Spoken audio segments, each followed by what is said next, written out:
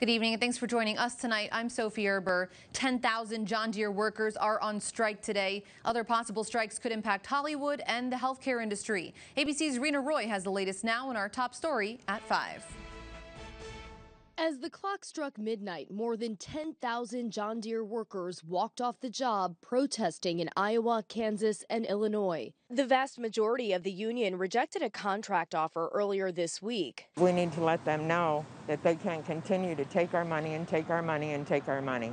Workers argue even as the company's profits grew by 61% in recent years and their CEO's salary grew by 160% during the pandemic, they say their pay has actually been cut. John Deere released a statement saying, in part, it remains committed to finding a solution with its workers, saying we want to reach an agreement with the UAW that would put every employee in a better economic position. Similar scenes could soon unfold across America, including in Hollywood. 60,000 film and TV crew members could hit the picket lines Monday over what they claim are unfair working conditions. Our hours are really grueling, and we need not just rest between the workdays and over the weekend but an actual meal break during the day. In California and Oregon, 24,000 nurses and other healthcare workers at Kaiser Permanente voted to authorize a strike over pay and better working conditions. At Kellogg's cereal plants, workers have been on strike for more than a week, saying hours are too long, upset over seven day work weeks.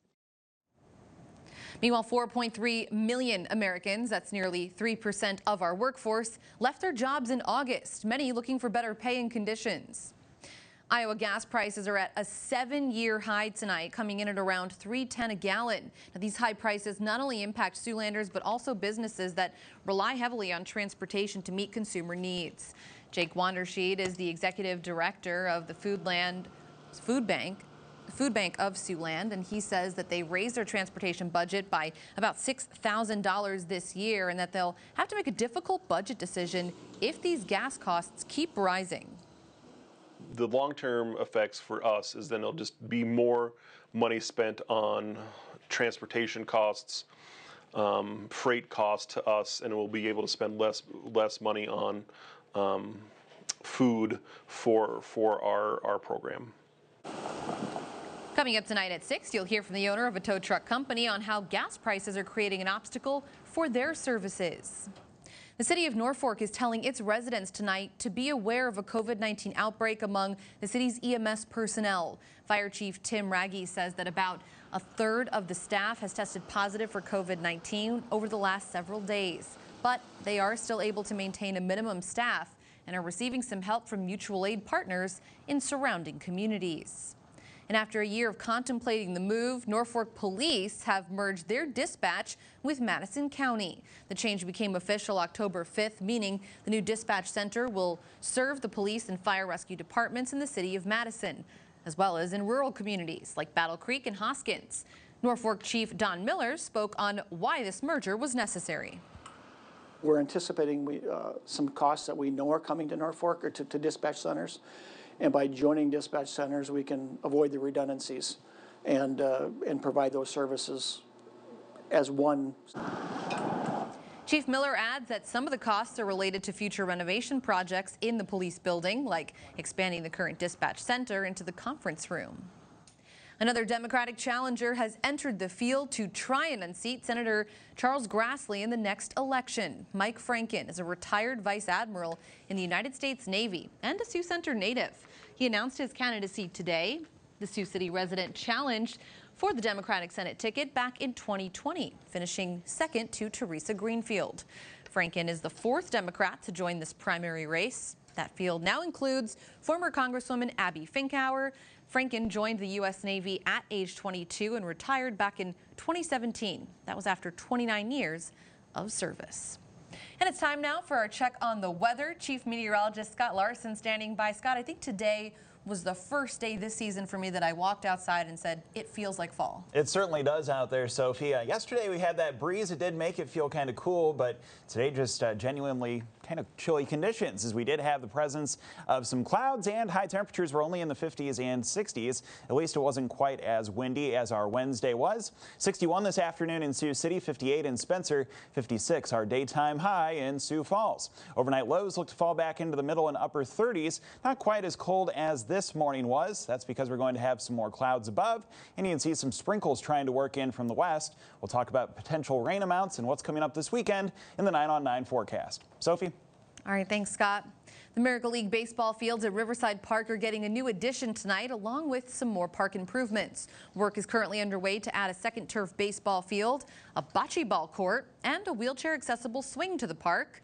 Turf for the 200 foot baseball field is expected to be fully installed by next week, with some fencing and signage to be in place by next spring.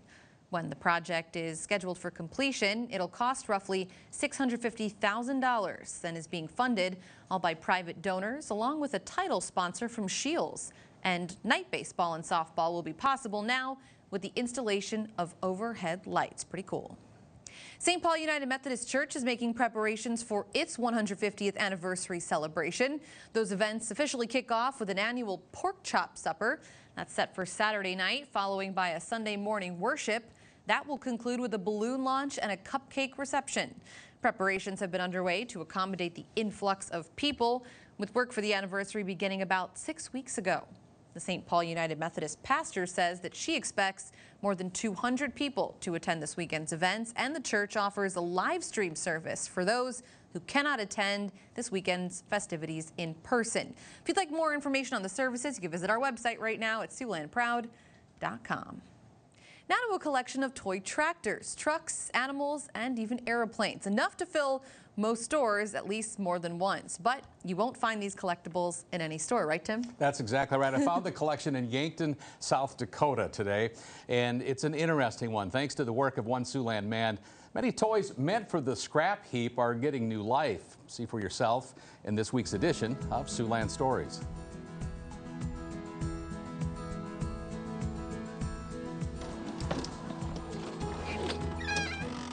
This room here was part of in a street in Yankton that moved it out here, and, and this is what I created on it. But it ain't big enough. Meet 82 year old Francis Laffey of Yankton, South Dakota.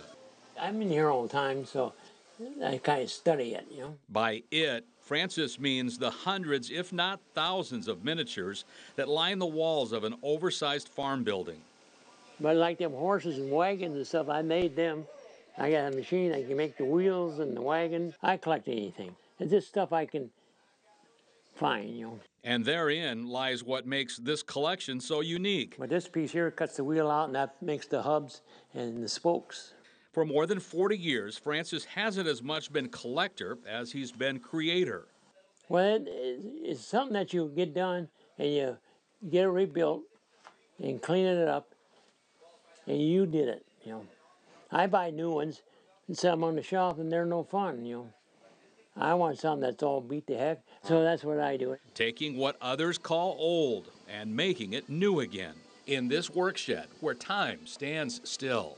Do different things, create something out of nothing. Well, I take them all, some of them all apart, and take two or three and make one. Here I made two trucks and I've changed them over, and they got international scouts and pickups on. By his own admission, Francis's fascination with toys came late in life. Growing up near Stickney, South Dakota, he tells me his parents didn't have a lot of money. We went to play, we played with a claw hammer, that was our plow, and we found a toy tractor in the junk one time, and we redone that, and that was our tractor. But that, but from then on, you start making your own stuff. I grew up on farms, so I can relate to it. You got to relate to what you're doing. You, you know, like you don't relate to it, it ain't no fun. Since then, Francis, who never had kids of his own, says he's been a self made man. Made this up because we got to have wood for the steamer engine, so I, mean, I, could, I could set it up for display, see. First, rebuilding lawnmowers, later, teaching himself how to weld.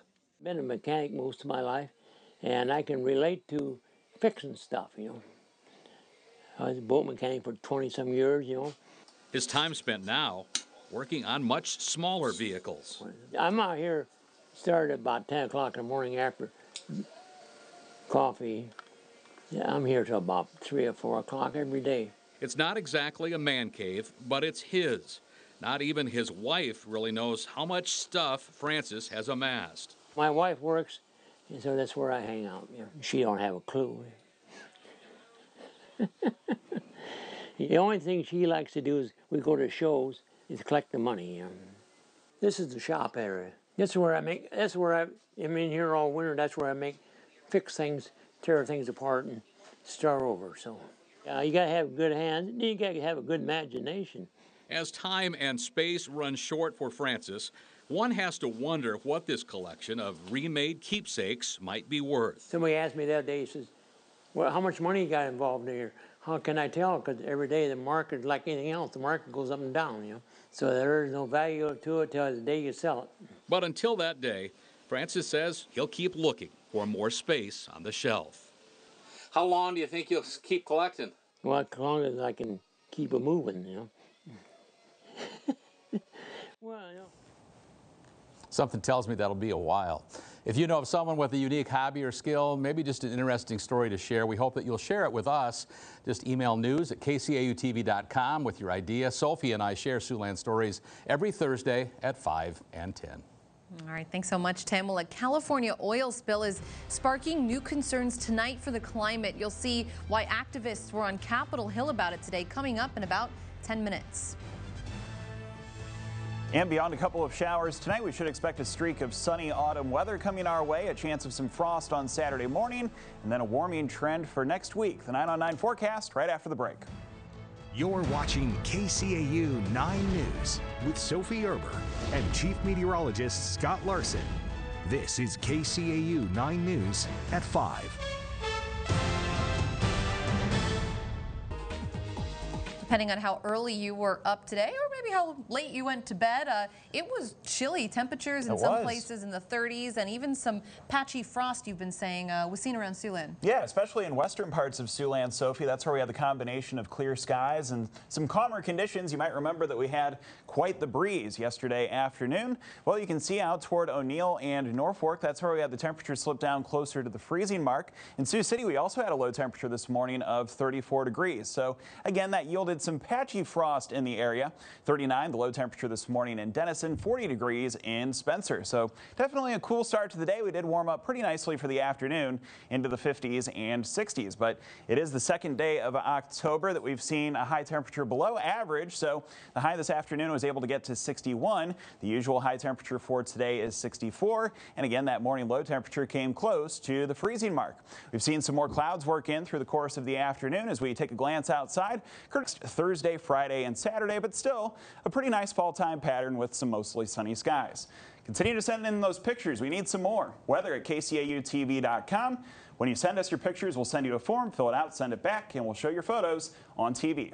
All right, and uh, I would love to see some early frost pictures. That's got to be interesting. Yeah, it looks like we'll have some more on Saturday morning, too. So if you missed seeing it today, again, get those cameras ready. All right, thanks a lot, Scott. Well, during one man's four years in the military, the cost of housing went up significantly. You'll see how his fixer-upper turned into a community project. That's coming up in about six minutes. But first, environmental activists are on Capitol Hill today. Why they say abandoned offshore drilling rigs need to be regulated. Next.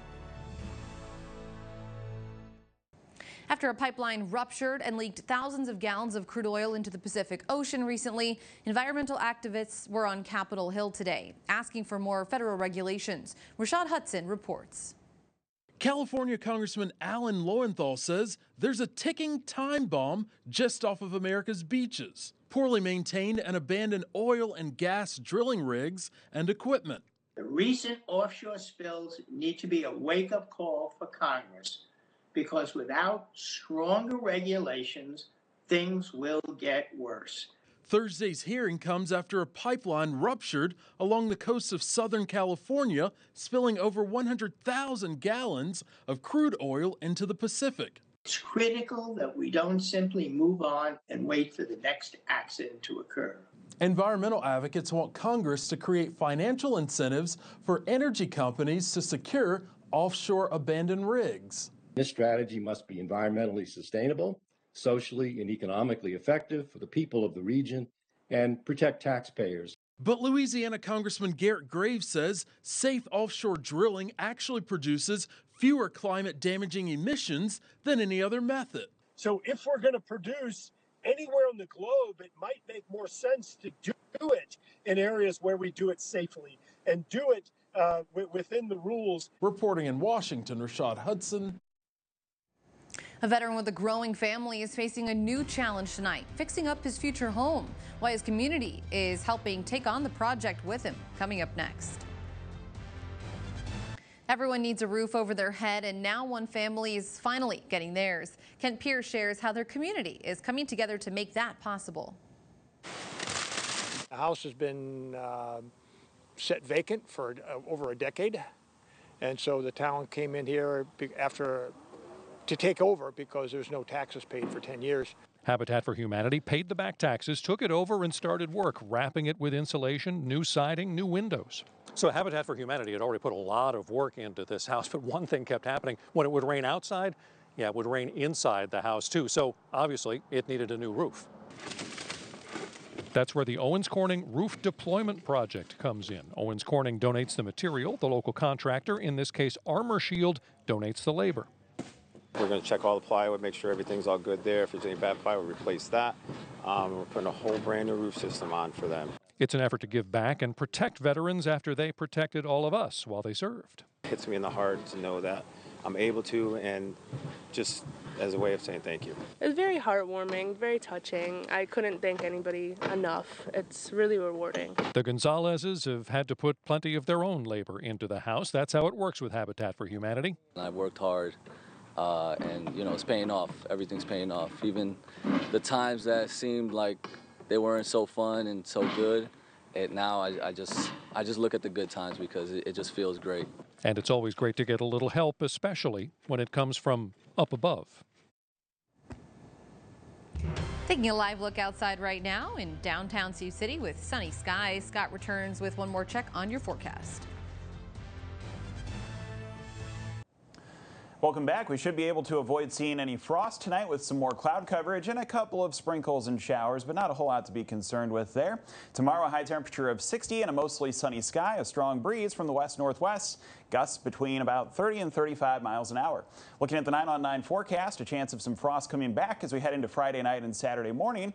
After that, we're going to snag on to some warmer air with highs in the mid 70s next Sunday, Monday, and Tuesday. All right. Thanks, Scott. Thank you for joining us. We'll all see you here tonight at 6 with Tim and Jake. Until then, have a great night, everyone.